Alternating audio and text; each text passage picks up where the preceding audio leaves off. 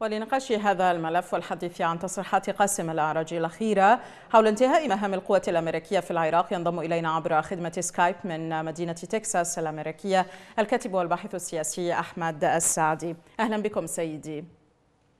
أهلا سيدتي مرحبا بك وتحية لقناتكم الكريمة ولمشاهديكم. سيد أحمد بعد إعلان قاسم الأعرج اليوم عن انتهاء ما وصفها بالمهام القتالية لقوات التحالف الدولي في العراق وانسحابها.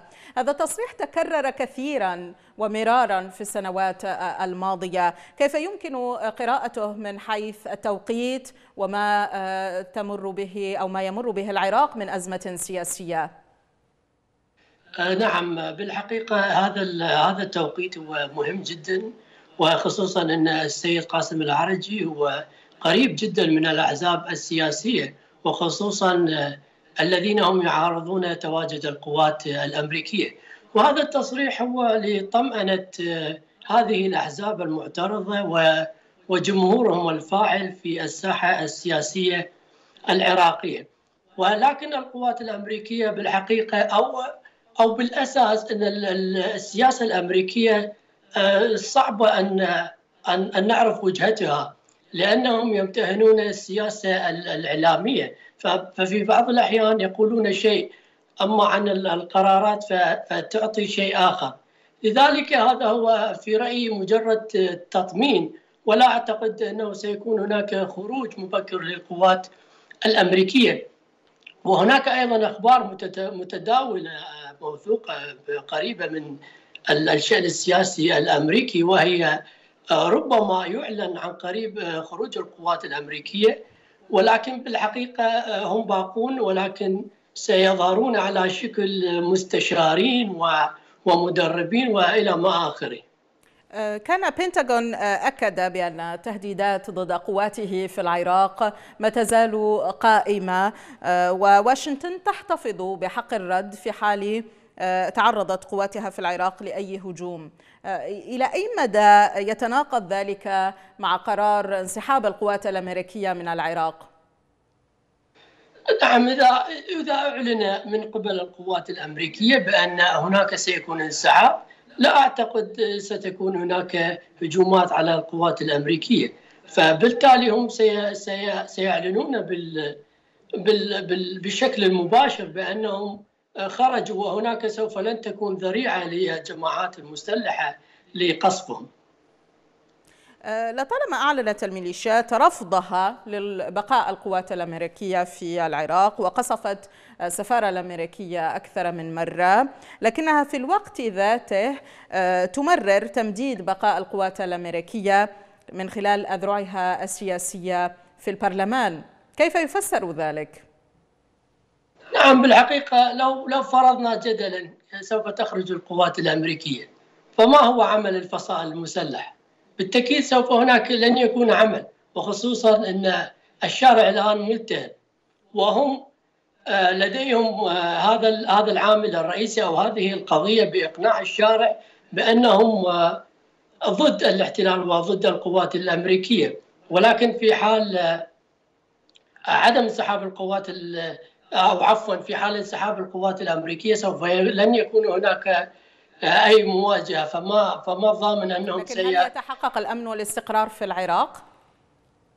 لا أعتقد ذلك لأن الوضع في العراق معقد جدا وعلينا أن ننظر لمن هو المستفيد من خروج القوات الأمريكية. فبالتأكيد الاحزاب هم المستفيدين الأول من ذلك، ولكن هناك مخاوف كثيرة من قبل الكتل الكردية وحتى الكتل السنية وهم يطالبون أو هم على علاقة وطيدة بين القوات الأمريكية آه، لذلك هم دائما ما يطالبون ببقاء القوات الأمريكية لضمان مستقبلهم ولضمان أمنهم. آه، لطالما كان هنالك ربط بين انسحاب القوات الأمريكية من أفغانستان وانسحابها آه، من العراق إلى أي مدى ينطبق السيناريو الأفغاني على العراق؟ وكذلك آه، كان بعد أيضا بعد حديث بايدن عن آه، التكلفة الكبيرة للقوات الأمريكية المتواجدة في المنطقة. نعم عزيزتي دعيني أوضح لك شيء مهم حدث بالفترة الأخيرة. وهو هناك هناك مصدر موثوق قريب مني و وبالحقيقة هو متواجد قريب في الشأن السياسي الأمريكي وقد أبلغني أنه أن السيد الرئيس بايدن هو بالحقيقة قد بعث رسالة إلى الكونغرس وقال لهم بالحرف الواحد أنه سوف لن يكون هناك قوات أمريكية بالعراق قريبا. السياسة الأمريكية الأمريكية عفوا سياسة معقدة وصعب التكهن بها. لو فرضنا حدث ذلك وخرجوا القوات الأمريكية بالكامل فسوف يكون هناك خلل أمني كبير وهم قد أعطوا الضوء الأخضر للأمم المتحدة والسيده بلاسخارت بأن يتعاونوا مع الجهات الفاعلة السياسية بالعراق مثل الصدر والقوات والكرد والسنة لخلق مع خلق عفوا حكومة تمثل جميع طبقات الشعب العراقي وبعيدة أيضا عن التطرف أو بعيدا عن التأثير العامل الديني الذي يمتهنه الكثير من الأحزاب أو الإطار التنسيقي.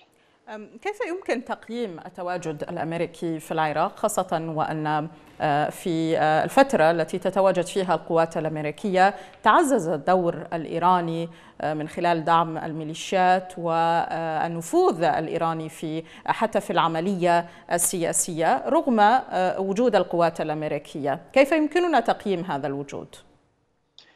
نعم بالحقيقة هناك من يعتقد أن السياسة الأمريكية هي سياسه ليست صلبة بما يخص الجانب الإيراني ومن يدعمه في داخل العراق، لكنها السياسة الأمريكية دائما ما تركز على القضايا المهمة بالعالم، وكما تعرفين ويعرف الكثيرين إن هناك الكثير من العوامل المهمة وأكثر أهمية من من الجانب الإيراني والعراقي.